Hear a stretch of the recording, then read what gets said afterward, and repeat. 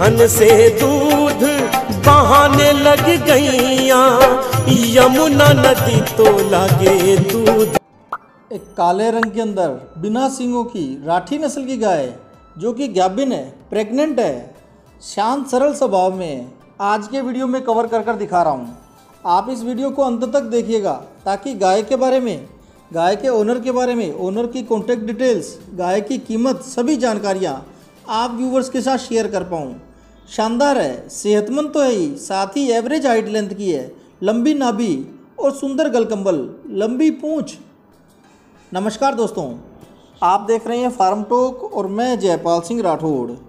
हर घर देसी गोवंश, हर खूंटे देसी गोवंश इस मुहिम को पूरा करने के लिए आज की इस वीडियो में आपको बेहद सुंदर शारीरिक बनावट की राठी नस्ल की गाय, जो दूसरे ही ब्यांत में है सेकेंड लेक्टेशन में है सेल के लिए अवेलेबल है, वह दिखा रहा हूँ।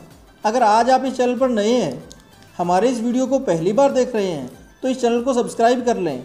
नज़दीक दिए गए बेल आइकन पर क्लिक कर ऑल नोटिफिकेशन बेल दबाएँ, ताकि आने वाले हर एक वीडियो की नोटिफिकेशन आपको रेगुलर और सबसे पहले मिले, और आप इन वीडियोस के माध्यम से अपनी पसंद की गाय का बेस्ट सिलेक्शन कर पाएँ। गाय प्रेग्नेंट है, ब्याने में लगभग लगभग एक महीने के आसपास ड्यू है। इन दिनों में अडर के अंदर आपको अच्छी डेवलपमेंट और ग्रोथ देखने को मिलेगी। लंबी नाभि है। राठी नस्ल की गायों में नाभि की लंबाई काफ़ी अच्छी रहती है। वैसी ही शाही शेप इस गाय के अंदर भी देखने को मिल रही है। बिना सींगों में है।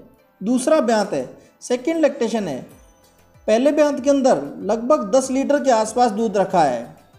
इस बार 12 लीटर तक की दूध क्षमता की अपेक्षा इस गाय से विक्रम सिंह जी कर रहे हैं, जो इस गाय को सेल के लिए अवेलेबल करवा रहे हैं। श्री गंगानगर राजस्थान के रहने वाले हैं। इनके mobile number seven double two nine eight one nine one four six इन मोबाइल नंबर पर संपर्क करके संपूर्ण जानकारी ले लें। कुछ जानकारी जो मैंने आपके साथ शेयर की है, उसको भी खुद विज़िट कर कर मिलान करें। प्रेगनेंसी भी गाय की टेस्ट करवा लें। कीमत इस गाय के लिए बत्तीस हज़ार रुपये thirty two thousand rupees demand की गई है। इस कीमत में कम चांस है बार्गेनिंग के, लेकिन बार्गेनिंग फिर भी ज़रूर से करें। ट्रांसपोर्ट फैसिलिटी और चार्जेस के बारे में जानकारी स्क्रीन पर मेंशन किए गए नंबरों पर संपर्क करके ली जा सकती है। आप खुद विज़िट कर कर इस गाय को भी देख पढ़ सकते हैं। साथ ही इनके पास जो अन्य उपलब्ध, लगभग एक दर्जन के आसपास देसी गोवंश है, उनमें से भी आप अपनी पसंद की गाय का सिलेक्शन कर सकते हैं।